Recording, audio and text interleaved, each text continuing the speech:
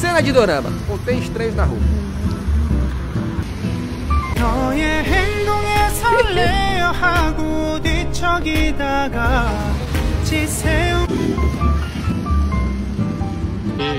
A galera fica bolada, né?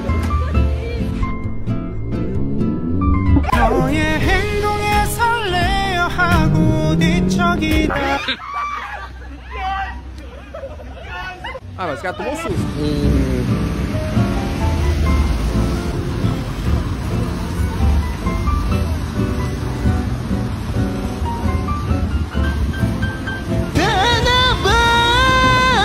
Cara, é impressionante, né? A, a galera se sente assim, tipo, isso é um flerte? É um negócio assim, né?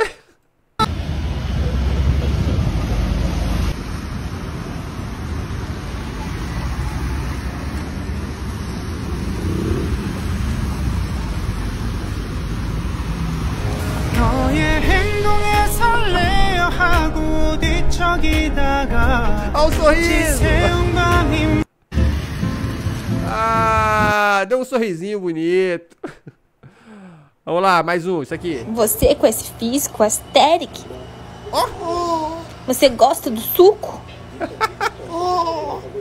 Eu já sabia, pois eu já tenho meu veredito.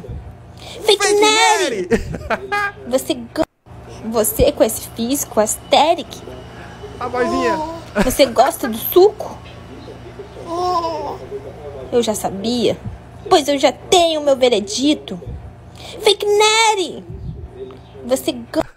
Você com esse Ai, a carinha, né? Que bonitinho. Parente que saiu da pobreza não tem a obrigação de sustentar ou de ajudar ninguém. É, obrigação não tem. Entretanto, dá confusão. Eu vejo muito isso acontecendo. A pessoa trabalha, estuda, sai de uma pobreza que às vezes é até maior do que a dos outros parentes. E aí, depois que ela tá ganhando bem, as pessoas acham que ela tem a obrigação de ficar sendo, fa- fazendo filantropia, de ficar ajudando. Ai, meu fogão quebrou. Você pode me ajudar? Não, não posso. Não, não posso. Desculpa. Porque é, fazer o que a pessoa fez pra sair da pobreza, ninguém quer fazer. Agora, receber os Mas o que a pessoa fez pra sair da pobreza? Ela jogou no tigre? frutos todo mundo quer e acha que só porque é família tem direito, né? Eu vi minha amiga falando essa semana, vou deixar ela marcada aqui embaixo. Ela tava falando sobre isso essa semana, que o pessoal da família dela tá chamando ela de egoísta, de, ai, que ela é uma pessoa ruim, que o dinheiro subiu pra cabeça porque ela tá vivendo uma vida legal hoje, mas a mulher tinha sido escravizada quando era criança e nessa hora não tinha parente nenhum pra ajudar. Isso que eu acho incrível. E aí, depois que a mulher se lascou pra estudar, né, agora virou advogada, tem uma vida boa, graças a Deus, o pessoal acha que ela tem obrigação de ficar ajudando os outros. E o pior é que a gente se sente mal, porque isso já aconteceu comigo várias vezes também, a gente se sente mal. Em, às vezes, estar comendo em um restaurante bom e ver que a sua família não pode ter esse acesso. Muita coisa eu não posto na rede social para não ofender, para não mostrar que, olha, eu posso fazer isso e você não pode. Cara, que doido, né? Eu tô, eu tô rindo do comentário aqui embaixo, ó. A Larissa Manoela, coitada. Mas isso que ela falou é, é doido, né? Tipo assim, ela tá se privando de publicamente aproveitar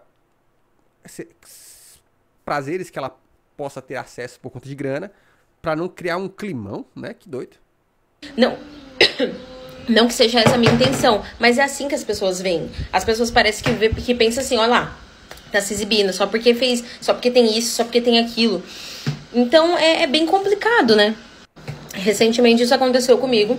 Eu percebi que uma pessoa toda hora tava tocando num assunto, ah, eu preciso de tal coisa, eu preciso de tal coisa, eu preciso de tal coisa. Sendo que assim, no dia a dia dela, ela não ia estar falando pra outra pessoa que ela precisa dessa tal coisa. Ela só tava falando pra mim porque ela sabe que eu posso ajudar ela. Ah, Só que as pessoas acham que, assim, porque você tem uma vida boa, você tá com dinheiro sobrando pra ajudar todo mundo. Porque, gente, se eu tivesse dinheiro sobrando, eu ajudava, até quem eu não gosto. Sério mesmo. Mas é, pra eu ter uma vida boa, eu tenho que trabalhar. É, eu acho assim, que é uma coisa que acontece muito.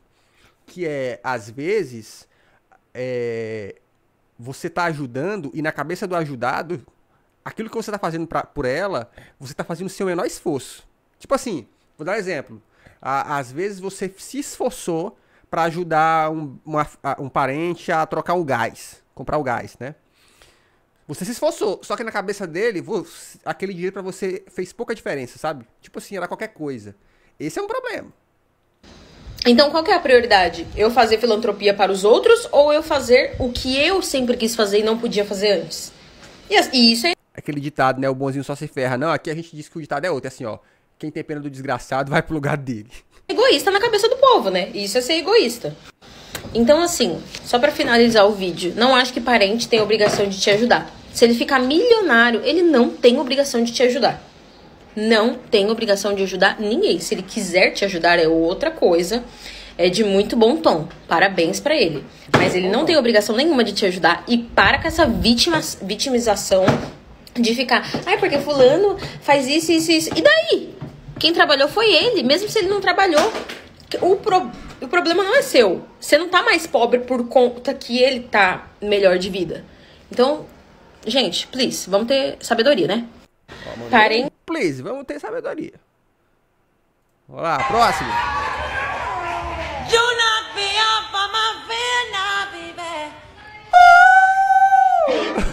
Pô, não tem como. Esse moleque tá famoso, né? Eu-.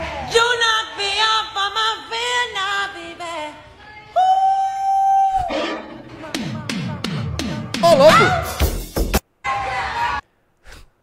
Michael Jackson do, do, do nada. Do nada. Não é inesperado? Inesperado. Inesperadíssimo. Ai, cadê? Não, esse aqui é. Eu quero, eu quero coisas leves. Tem uns que eu sei que são, são hard. Atenção, aqui, ó. Cultura pra vocês. Cultura pra vocês. Aprendam essa. O cliente que chegou aqui na borracharia pedindo pra mim fazer o Itapemirim, eu não sabia nem o que que era isso. Quando ele chegou, mostrou pra mim que tava com o pneu estourado, eu já ergui o eixo lá, só que eu perguntei pra ele o que que era Itapemirim, que eu não sabia o que que era. Ele falou: "Não, borracha, você tira o pneu de dentro, desmonta ele, coloca só a roda pelo lado de dentro e o pneu pelo lado de fora". E eu peguei e falei pra ele: "Motorista, o que você conhece como Itapemirim, aqui nós conhece como aranha". Depois que terminei de tirar ali o pneu, mostrei pra vocês aí que ele tava todo estourado, fui lá, coloquei ele pra dentro da borracharia. Porra, eu adoro o fenômeno que faz a gente ficar vendo vídeo de TikTok de borracheiro, de pedreiro. A gente não manja nada, mas a gente fica vendo. Já passei aquela velha baba de camelo. Ah, brincadeira, galera, só água com sabão. Depois que passei a velha baba de camelo, desloquei o primeiro lado do pneu, virei ele pro outro lado, já passei aquela velha baba de camelo novamente. Depois que terminei de passar a velha baba de camelo, peguei a naja, comecei a desmontar o primeiro lado do pneu. A Na hora naja? de desmontar o último lado do pneu, não queria sair na naja, eu peguei a outra espátula ali, que essa daí também é muito boa na hora de desmontar pneu, só que geralmente eu uso ela só na hora que eu vou desmontar pneu sem câmera com câmera. Na hora que eu ia fazer a aranha, câmera, o pô. motorista motorista mudou de ideia, falou que queria fazer aranha lá no eixo de trás, porque o eixo de trás era 12 horas e ele pegava Porra, Mad Max total, né? Menos peso na hora que o caminhão viesse vazio. Então eu iria fazer aranha lá no 12 horas e os dois pneus que tava lá no 12 horas, que é os dois pneus que tava bom, eu iria colocar no eixo do meio. Depois que ergui os dois eixos, tirei os dois pneus, fui dar aquele talento na rodinha do cliente que era pra mim fazer aranha. Como eu tinha falado um pouco antes aqui pra vocês, a aranha ela fica só a roda por dentro. Então peguei a roda, coloquei ali por dentro, fui buscar o outro pneu que seria colocado na aranha, rolei ele e fui colocar no lugar. Até entendi o motorista dele fazer aranha aqui no 12 horas, porque na hora que ele descarregar, tem como ele erguer aqui o 12 horas e ir embora pra casa dele. E como ele tava sem nenhum step, ele não tinha outra alternativa, então ele teve que fazer o Itapemirim, que aqui pra nós nós conhece como a famosa aranha. Pelo menos agora quando chegar outro cliente pedindo pra fazer o Itapemirim, eu já sei o que que é. Depois que eu terminei de fazer aranha, eu peguei os dois pneus lá do eixo que eu tinha feito aranha, rolei aqui pro eixo do meio, que era onde iria pegar mais peso e fui colocar de volta. E pra vocês que for fazer uma aranha, galera, sempre eu aconselho vocês fazer aranha no 12 horas, porque quando você tiver vazio, dá de você erguer. Terminei de colocar os pneus de volta, apertei, abaixei o eixo, o motorista veio ali e falou que tinha um pneu pra calibrar depois. Eu falei, beleza, eu vou abaixar só o último eixo aqui e vou lá calibrar o pneu pra você. Eu já tenho até uma estratégia na hora de eu erguer Já me perdi. esses eixos no meio. Eu entro pelo meio da carreta, tanto na hora de colocar o macaco como na hora de tirar o macaco. Terminei de Peraí, tem aranha, o macaco, que parada, hein? os dois O camelo. Fui lá fazer a calibragem do pneu que o motorista falou pra mim que tava baixo. Na hora que eu tava fazendo a calibragem do pneu, o motorista veio ali bater um papo comigo. Esse serviço foi cobrado 80 reais. Já deixei nos comentários se 80. tá barato ou não tá. O cliente mesmo não reclamou do preço, mas um serviço concluído com sucesso. Ele fez o pagamento e seguiu sua viagem. O cliente 80 reais, bicho. E aí, vocês acham que tá caro ou tá barato aqui, ó? 80 nesse serviço, tá barato demais, meu patrão. ó, a galera tá comentando, ó. 80 tá barato. Aí, ó. Moço, valoriza seu trabalho, é muito braçal. E técnica, cobra mais. Aí, ó, aqui nós aqui, ó. Não entendi uma palavra, mas assisti até o final, é nós.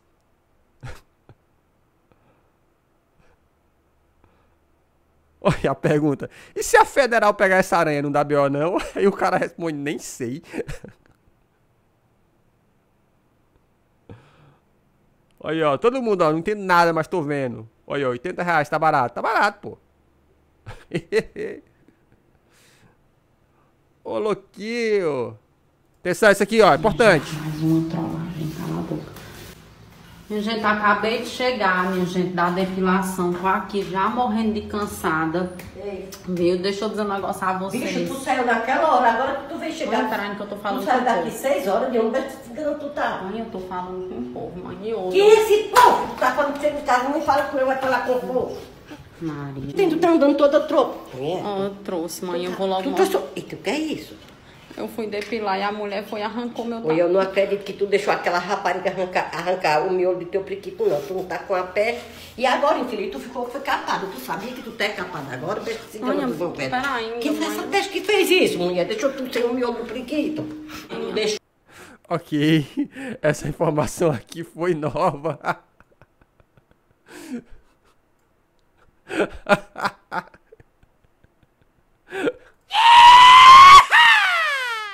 Quem é essa besta que fez isso em tu? Sim, e tu tá de fralda, é mulher, por que tá saindo de Mulher, ela pegou e arrancou o meu pinguelo. Ó, rapariga, aquela besta-feira pra, tá pra tu emendar no hospital, pois tu, ela vai pro hospital, ela vai pagar essa cirurgia. Que tu não vai ficar o miolo do priquito, não. Tu tá doido, ficar toda aleijada, velho. Só, só o fica negro. Ai, mãe, eu tô passando Vamos, minha mal. filha, vamos deitar ali na cama. Vamos que eu quero falar com aquela Ai, então- cigana. A Espera, pobre. Tá, tá saindo sangue? Tá, mãe. Eita, maldita, vai dar uma morrada no inferno em tu. Hã? Mulher arrancou em teus cabelos de teu priquito com a cera, foi? Mulher, a cera quente. Uhum. Eita, bexiga dos infernos. Não fiquei a vela com inveja do teu priquito, sabia? É inveja. Tá todo murcho, velho. Ela ficou com inveja que ela filho vai lá mãe. me pagar. Deita aqui um pouquinho. Ai. Deita, mulher, deita aí um pouquinho. Eita, maldiçoada dos infernos. Como é que a pessoa. Ai, mãe, mulher, tu não passa tá com esse ela na mão. O povo sabe que tu tá com pinguela arrancada. Se deita, se deita. Olha essa bexiga aí. Que eu vou falar com aquela, Não, eu com tô- essa quenga dos infernos. É, fala embaixo, mãe. Isso Deixa aqui pra lá. no álcool, ele fica Deixa vencido, mulher. Vai ficar podre. Como é que tu vai pregar o, o miolo priquito de novo? Podre. Esse aqui podre, aí desgraça o resto. Tá bom, deixa pra lá, mãe. Entregar nas mãos de Deus. Tu acha que Deus vai querer o miolo priquito? Tu tá ficando doida, é? Fala aí.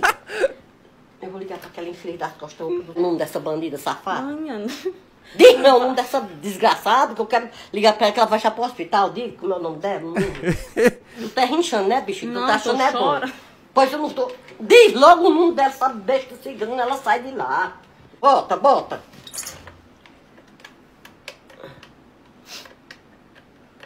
Olha, vai de novo, vai de novo. Vai de novo. Cera quente no priquito, vai de novo. Agora tu não tem mais miolo pra arrancar com cera quente, não. Agora tá só o buraco. Tu rapariga. Bicho, toda, toda mãe fala isso, né? Quando a gente se machuca, vai de novo, vai de novo. Tu podia ter mandado rapar com a gilete. Olha, Alô? deixa pra lá, mãe. Tadinha, escuta, Tadinha, vai te deitar que tá saindo sangue. Tá saindo sangue mesmo. Escuta, é do salão Cicinha Pinguelo? Cicinha arranca pinguelo. Porque você arrancou o pinguelo da minha filha. Tu viu sua quenga dos infernos? Pois você vai emendar, você não vai, mandou ela trazendo uma folha de papel ah, um monte de cabelo e, o pinguelo. Como é que o doutor vai colar isso aí? Você vai Não, pagar. isso pra lá. Escuta, mulher, que ela vai pagar essa cirurgia. Tu vai ficar aleijada sem pinguelo. Quem que vai te querer, tu sem pinguelo? Tu é doida? Deixa pra lá. Ei, ei, Cicinha. Olha, você, você guarda o dinheiro, porque eu vou botar o pinguelo dentro do álcool e vou levar pra você pagar pra emendar. Nem que seja com super bônus, mas você vai pagar. Mãe, deixa eu acho que presta lá. com super bônus. Isaja, eu acho que isso já tá na tua casa, Mãe, na tua lá, cola. Eu já passei o endereço teu pra ele. E você vai pagar Mãe, toda a deixa polícia que lá. sabe disso. Escuta, mulher, escuta. Ó, toda polícia que sabe disso já me deu todo apoio e você vai me pagar. Ou você emenda o pinguelo Ela dela, ou você vai arrancar o seu pra botar, porque tá aqui quase podre já. Viu? Diz, tu arrancou o pinguelo Mãe, da... deixa isso pra tu lá, arrancou mãe. o pinguelo da coitada, bicho maldito, esse pinguelo feio do cão. E tem certeza que foi que eles fizeram, arrancar só o pinguelo, arrancaram com beirada e tudo. Porque tá uma coisa tão feia aqui, um goiaba aqui no meio, cheio de cabelo. Eita, bicha preversa dos infernos, pra que tu não pelou teu, infeliz? Mãe, dá uma cera, manda eu passar no teu, que eu quero arrancar as beiradas, tu deixar só o osso. Infeliz, tu vai pra cadeia. Tabaco feio dos infernos, parece uma moela de uma galinha. Ô, mulher, pelo amor de Deus. E tu tá com miolo feio desse.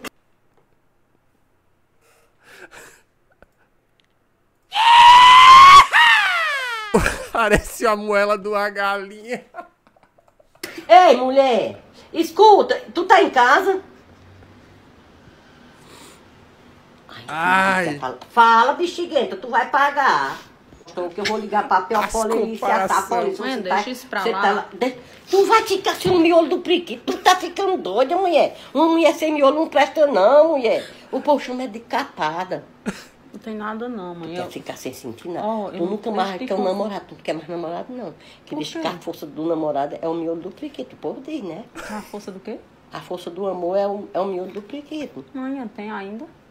Eu tenho, mas eu, tu acha que eu vou mandar ninguém arrancar? Eu não, porque eu quero gilete. Ó, mulher, pá, tu podia ter mandado eu fazer isso. Eu achei pouco, você vai, você vai ficar paralítica agora. E tá saindo sangue? Tá, mãe. Ei, Cicinha! Ela tá dando hemorragia, viu, besta fera dos infernos? Tu vai ver o que é que tu vai ganhar.